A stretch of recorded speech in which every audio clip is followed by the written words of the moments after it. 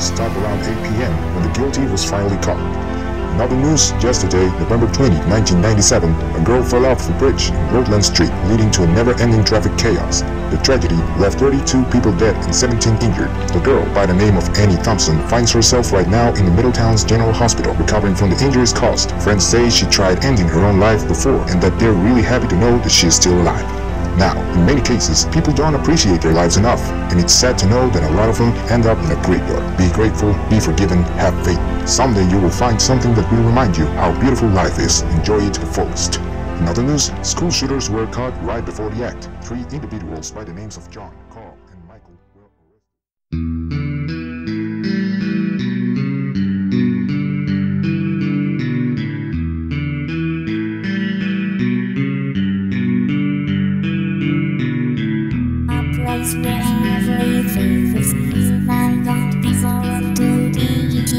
belong to the ETF,